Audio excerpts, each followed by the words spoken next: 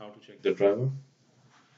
Whenever user having a trouble with the output of the print the colors are not coming fine or the plans are not fit to, fit into it it uh, happens mostly with the DesignJets but it can be happen with the copiers too.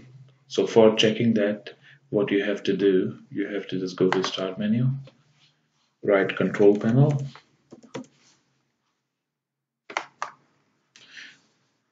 in control panel you have to go to devices and printers just here. Click here. It will show you different different uh, other devices on your system. Right now is showing me a printer. I have I managed to go to different different printers so that's why I have a lot of printers installed in my system. But for example I am selecting this one ColorQube. You can use these steps on any printer or any plotter right click on it go to the printer properties. In printer properties you have to select advanced. So right now it's showing series class driver.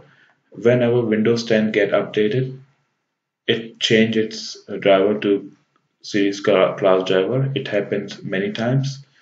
So you have to reselect the original one. So right now I'm selecting this one which is a Xerox ColorQube 8570 DN PostScript. So like this, apply it.